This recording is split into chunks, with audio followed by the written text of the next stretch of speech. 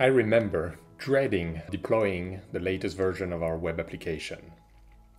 That was more than 10 years ago. and in my agency, we were building this uh, very complex uh, system for a fintech company. It was a quite large PHP application with thousands of files, uh, multiple developers involved working on it. But when it came to deployments, we had to do everything manually.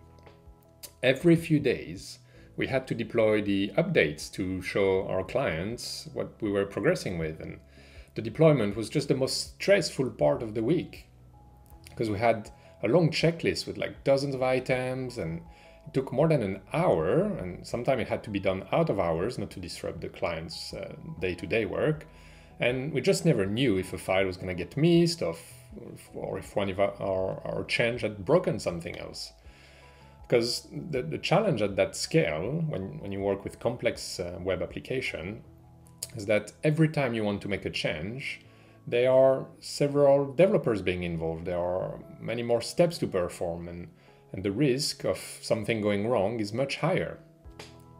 So to manage this, the DevOps world came up with a solution to automate all of these tasks and, and mitigate the risks. And this is when one-click deployments was born. So let's explore together today the benefits of putting that in place in your development workflow.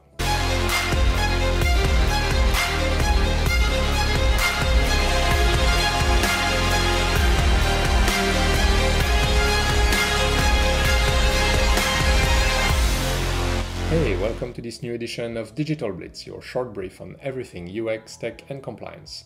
I'm Sylvain Reiter and I'm here to help you succeed in digital by delivering better experiences for your team and your customers.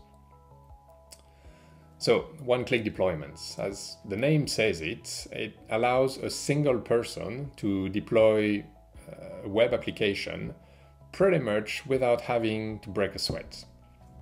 And there are three main benefits of using uh, one click deployments that I want to share with you today. The first one is that anyone in the team can deploy, and it's literally a single click. As I remember those old projects that, that we were working on like 10, 15 years ago, most of those issues that we were encountering were linked to human errors. Even if we had very good checklists, having to repeat a manual task is very error prone or if the person who knows all the little quirks and all the settings to apply and, and the, the, steps to take, uh, if that person is off sick or unavailable, we were just stuck.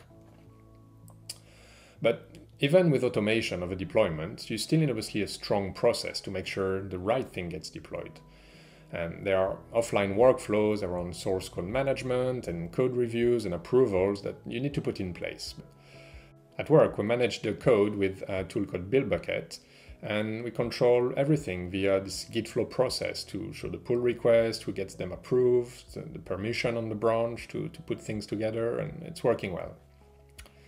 The second benefit is that one-click deployments are fully automated. You can do as many tasks as you want, pretty much back-to-back -back in a very short amount of time. As for those complex web applications that we're building, you need to run automated tests, you need to compile the front-end assets, you need to move the code to the servers, update the database, monitor the health of the application after the deployment. There's just so much going on. So you need to use tools to automate all of that. And there are tools like Jenkins or the one we use, uh, it's called buddy.works, where we basically just hard code the, the workflow to deploy on our AWS or Azure servers we found that that tool had all the best integration out of the box uh, with the components we used from Docker and all the AWS hosting settings, and then we can run our custom commands on top of it. And the third benefit of one-click deployments that it just speeds up the whole process and reduces the downtime. Because we've literally moved from deployments taking several hours 10 years ago to seconds, kind of not even a minute sometimes today.